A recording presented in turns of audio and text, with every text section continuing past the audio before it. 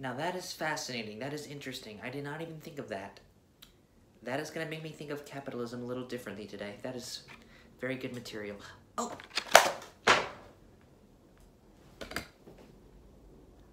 You want me to stop reading my intellectual novel to review Drake's new mixtape? Dark Lane, whatever the hell you call it? Folks,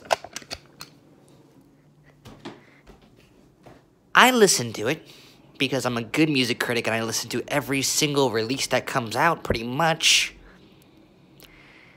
They put the freaking Toosie, what is that song called? Toosie Slide? The Vine, the Vine song? He literally wrote a song with the intention of hoping it would go viral on TikTok and people would be dancing to it on TikTok because that's literally how the music industry works nowadays. The music industry has gotten so shallow that they are dependent on freaking making songs that are gonna go viral on TikTok for money. What the hell? Where's the artistic value in that? Listen to me. Drake, you and I are both rappers. We both have our own hip hop hits. Let me give you some advice. We all know you're going irrelevant. No one cares about this mixtape. No one cares. No one cares about your Toosie slide. No one cares about any. Listen, this sounds exhausted. It sounds, Drake, you sound like you're exhausted here. It sounds like you're trying to go irrelevant. It sounds like you're wasting my freaking time when I could be reading my data.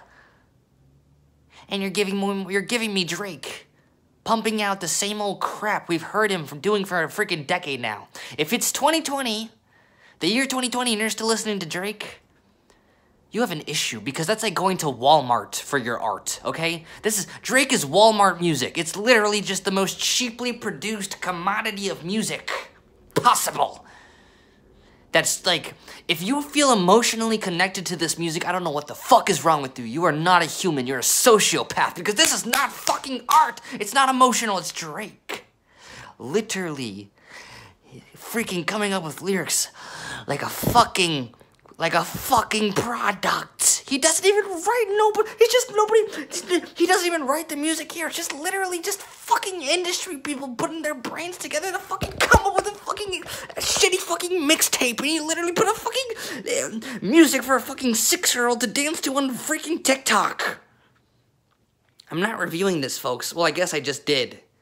Thanks for watching. I didn't even finish. I'm going to be honest with you. This is the first time I've ever reviewed something without finishing it, and I don't feel bad about it at all because I listened to most of it. Nothing.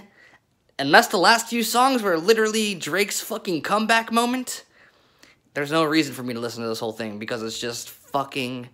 It's just a fucking commodity, not art. And if you like Drake's new stuff, if you like Drake's new stuff, if you still listen to Drake in 2020, you are literally a fucking idiot. You're dumb. You're dumb. You're dumb. I'm an intellectual. I'm gonna go back to reading now. Thank you for wasting my time. Punk Revolution now.